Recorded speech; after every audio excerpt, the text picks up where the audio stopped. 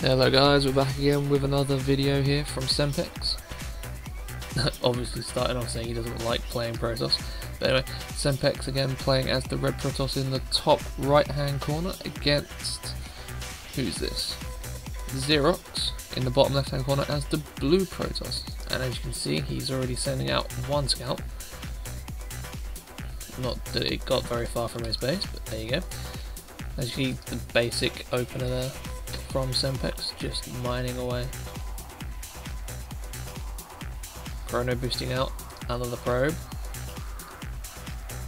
As you can see, the probe from Xerock coming in to scout his base and trying to do a little bit of harassment on his mineral line. Just trying to stop Sempex from mining away.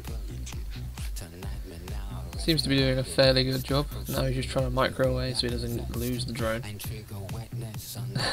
Running around in circles is always a good plan. But as you can see, Sempx is still doing fairly well, putting down two gates and a gas. So, slow start on building the probes, but has decided to opt for two gates and gas.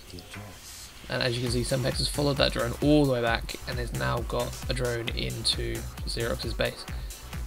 At this point, he doesn't actually know that it's there. Xerock has no idea that that drone followed him all the way back and is in his base. As you can see, he tried to scout it, didn't quite move far enough over. If he had done, he would have seen the scout. But as it happens, they have both gone for two gates and a gas. So Sempx now has both his gates up, building a forge and a cybernetics core. Still has one gas up, but is doing fully mined, and now has put up a second gas. Nothing going on from this drone at the moment. Cybernetics core has gone up for Xerock.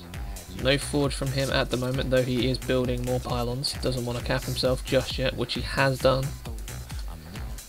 Sempx not capped just yet, putting up a photon cannon at the side and at the back.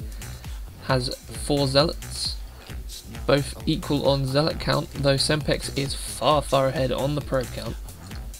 Not researching anything from the forge, though he is now chrono boosting out the warp gate research.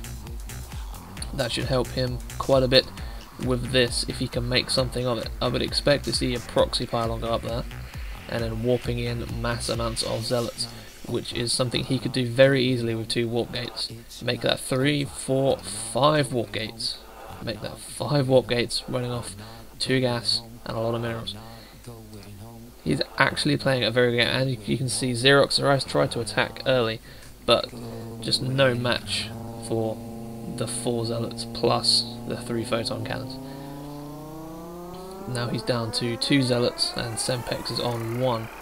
Now he's up to five, now he's up to six. Using the warp gates to good effect there, has warped in on the pylon in the enemy base, warps in five more zealots. We could see an end of game right here. Runs in with all five zealots, tries to take out his mineral line, decides to skip that completely, goes straight for the Nexus.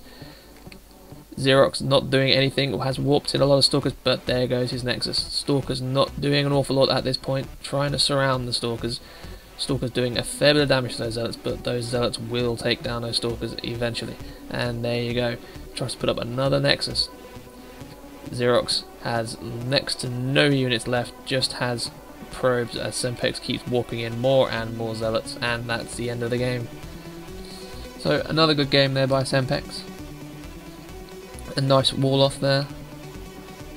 Good economy. Good research. Though he did only stick to Zealots, which can be good, can be bad. But he did fairly well. Ended the game quickly. Job done. Hope you enjoyed it guys. See you again next time.